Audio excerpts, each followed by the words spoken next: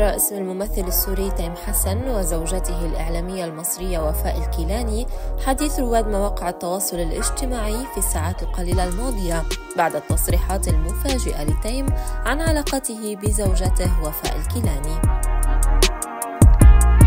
وفي التفاصيل وخلال إحدى المقابلات الصحفية سئل تيم حسن عن إمكانية أن يجتمع مع الممثلة اللبنانية دانييلا رحمة في عمل درامي مشترك خصوصا بعد أن تركت دانييلا شركة إيجل فيلمز للمنتج اللبناني جمال سنان وانضمت مؤخرا لشركة الصباح للمنتج صادق الصباح.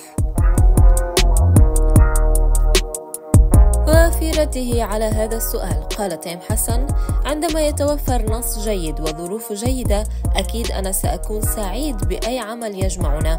معبرا بالمقابل عن حماسه للمشاركة مع دانييلا وتقديم عمل مميز للمشاهدين.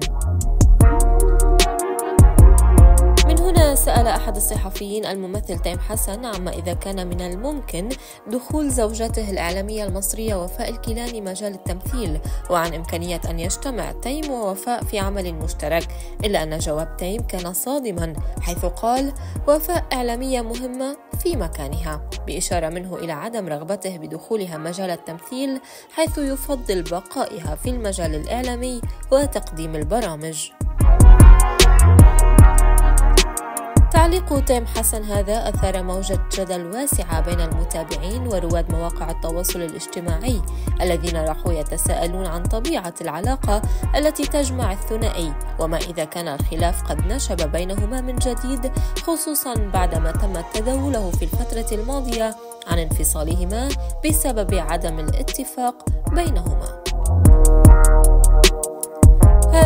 وكان شكل خبر طلاق الممثل السوري تيم حسن والإعلامية المصرية وفاء الكيلاني صدمة كبيرة بين رواد مواقع التواصل الاجتماعي خصوصا أن علاقة حب كبيرة وقوية جمعت الثنائي رغم كل الشائعات التي مروا بها.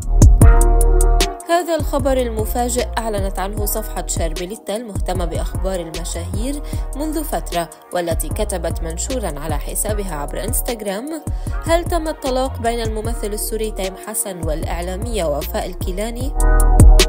وكشفت شربليتا تفاصيل ما حصل فقالت تمر العلاقة الزوجية بين تيم حسن ووفاء الكيلاني بمطبات عديدة منذ أسابيع وقد انتقل تيم للعيش في منزل آخر بعيدا عن زوجته وفاء التي طلبت أن تقضي بعض الوقت بمفردها لا سيما بعد أن كثرت المشاكل والفجوات بوجهات النظر.